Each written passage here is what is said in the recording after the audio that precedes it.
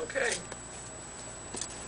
I think it's a wrap, folks. A small more adjustment here on the cables, and um, I think she's good to go. I think she's good to go. Dino Dan and Sledhead Dude, another uh, successful project. Right. Next year is going to be a Tinker Up on the uh, Snow Twister. Yeah, but gotta ride this one first. Yeah, we're riding this one. We don't um, we don't drag these sleds onto trailers, folks, like some people do. We ride them, or we don't bother doing this. So FYI for all of you vintage nuts out there. All right, we're out.